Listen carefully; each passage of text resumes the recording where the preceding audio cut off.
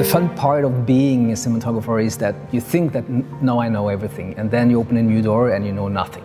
So you just you're learning all the time. Uh, you never get old. Uh, you have to stay kind of young in a way, and I'm always been pragmatic in the way I'm shooting. So when I'm reading a new story, it's it's how to to to to tell this story. Should it be shot on film? Should it be shot with um, a small camera, a big camera? I don't know. It's just the story tells me how to do this. So I'm trying to convince people, directors, producers with results. We are doing tests and we look at the test and we see, does it work? Yes. We don't care if it's ARRI, if it's uh, Panasonic, if it's uh, Red, it's, if it works, it works for the story. I followed VariCam for many years uh, and I knew the camera very well, uh, but I never used it on a feature film. Then I was working on a project called The King's Choice, and I have, in that film, we have a very important scene that happens at night. I saw some tests for this camera and I was blown away by the possibilities to shoot in low light. This was winning the whole thing very easily because I had a stop more, more than a stop with light.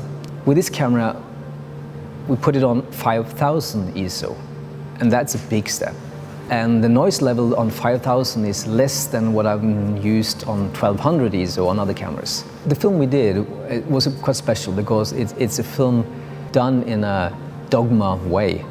And that means we shot, uh, I had a lot of lights, so it's not dogma in that way, but it's dogma in the way that we followed actors for 10 minutes, in and out of houses, into cars, out of cars.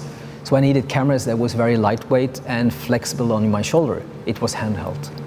So my camera needed to be easy to use um, like a documentary camera. And I think this camera has the buttons where the buttons supposed to be and it also has the, the um, if it's a little bit of snow in the air or some water in the air, it doesn't break down. It's made for working outside. It, it's not a computer, it's a camera.